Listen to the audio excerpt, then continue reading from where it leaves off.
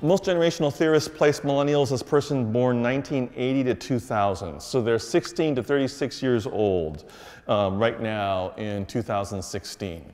Um, so 16 to 36 year olds, uh, millennials. If you're in the cohort, according to these generational theorists, raise your hand. Nicely, barely. Moses is barely there. Oliver, Emily, Cynthia, Bronwyn, nice.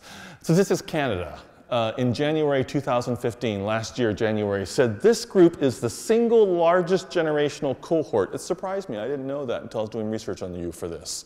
Uh, single largest generational cohort at 9.8 million Canadians, or 29% of the Canadian population.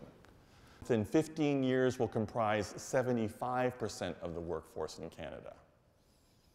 Um, Someone says to you, well, the reason why there aren't a lot of young adults in our church is there's just not very many of them. They're all working three jobs. Yeah, yeah, yeah, yeah. Point well taken. Um, so um, I, want to, I want to dispel quickly some uh, ideas. So when I talk about millennials, I'm thinking about 16 to 36 year olds. Um, I think there are two, I think there's, a, there's a, a, sort of two poles right now, and millennials are lining up between each of these poles all across the spectrum, right? Um, the first one says, I have tentatively crafted a meaningful narrative for my life that gives me a satisfying identity, but there is a slight problem. Some conflict, some tension, some ambiguity has arisen in my narrative, and I need a gospel infused narrative to work through this ambiguity. That's why I'm here. That's why I'm talking to you. Right? That's one stand. Okay? Across the spectrum, and the spectrum, I think, stands, this, excuse me, other. I do not have a coherent narrative, and I have no idea how to construct one. In the meantime, though, I need to survive the day, work, and or school, and nurture relationships. Can you provide something I cannot do for myself?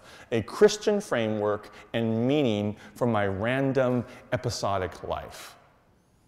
I think those are two narratives that I keep on hearing over and over again, and most young adults then find themselves across the spectrum. What do you think? I like the second one. Thank you, Liz. Liz says she likes the second one. It seems very real. Thank you. Paul, what do you think?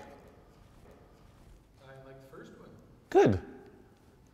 What, what, might be the, um, what might be the conflict, the tension, the slight problem if the person's more on this pole? For instance, for young adults. I can't get my romantic life in shape. There it is. Martha's like, oh, yeah, I've got a decent job. There's possibilities here, but I'm trying to date.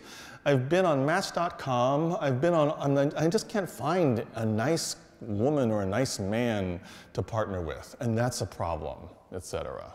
So yeah, there's something, yeah, relationships are falling apart or something, right? Um, I think these two poles line out. What do you think? And by and large, people find themselves in the midst of this. What's interesting is, as I've taught this and talked about this, um, most recently, about four weeks ago, to a class of adults, uh, talking about millennials and how we at Village Presbyterian Church reach out to millennials, care for them, love them. Uh, several, of, several of the adults in the class said, actually, um, that, the second one, that's me, and I'm 62. And uh, the, yeah, the first one, I'm more the first one actually. So I don't think this is just unique to millennials, but it is part of where they are in their life. Does that make sense?